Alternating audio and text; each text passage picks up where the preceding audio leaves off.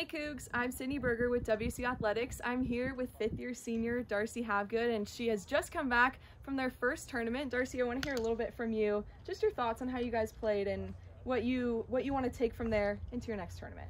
Um, I think that we did really good. I think that it was a good start to the season. We came away with fourth, which was pretty good. It was a good field. There were some really good teams there. Uh, I played well individually, which was really cool, and I think that uh, for Vail um, tomorrow, I think we just have to clean up some short game work and making sure we're making the most out of what we have around the greens and um, capitalizing on some birdie putts. So. Yeah, like you said, you guys are headed to Colorado for the Red Sky Classic. What are your expectations of just maybe who you're going to see or what type of competition is going to be there?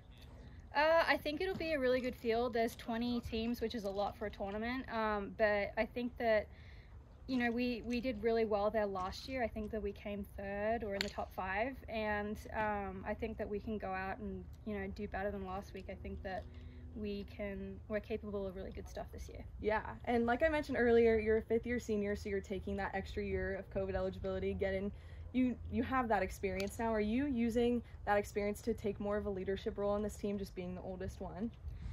Uh, yeah, I think that I am kind of uh, someone who the team turns to. I think I do have a lot of experience being here for five years. So, um, yeah, I, am just trying to make the most out of this year and try and help the freshmen and the sophomores as much as I can and just try and lead them in the right direction. So. Yeah.